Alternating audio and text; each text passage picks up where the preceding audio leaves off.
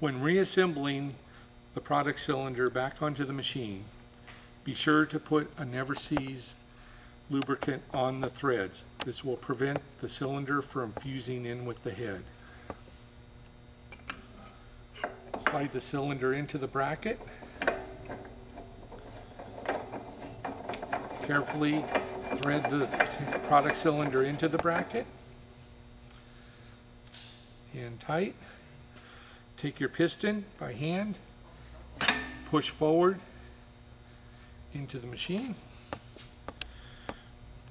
Move it up to the collar, which we had left solid.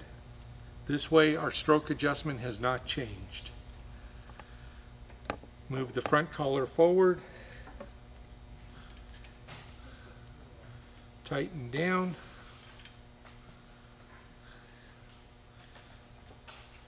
Reconnect your power.